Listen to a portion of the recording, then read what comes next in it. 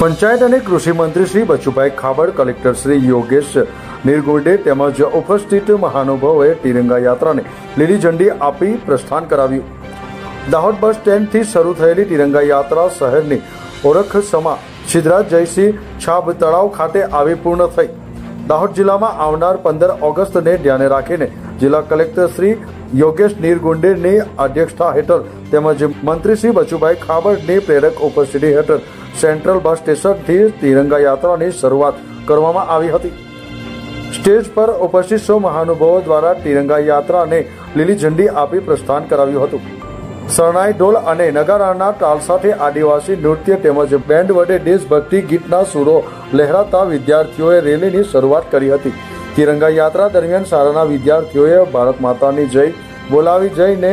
દેશભક્તિ ગીતો સાથે રેલીમાં કદમ સે કદમ મિલાવી રેલીમાં ઉત્સાહપૂર્વક ભાગ લીધો હતો.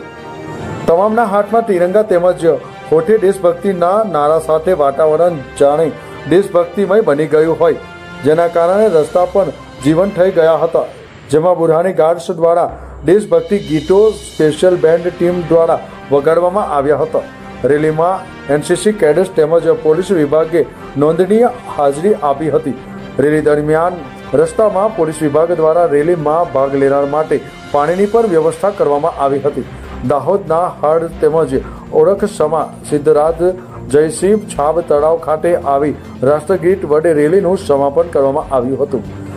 આ તિરંગા યાત્રા દરમિયાન ધારાસભ્ય શ્રી કનૈયાલાલ કિશોરી ધારાસભ્ય શ્રી મહેન્દ્રભાઈ ભાભોર જિલ્લા વિકાસ અધિકારી શ્રી ઉત્સવ ગૌતમ જિલ્લા પોલીસ અધિક્ષક શ્રી રાજેન્દ્રસિંહ ઝાલા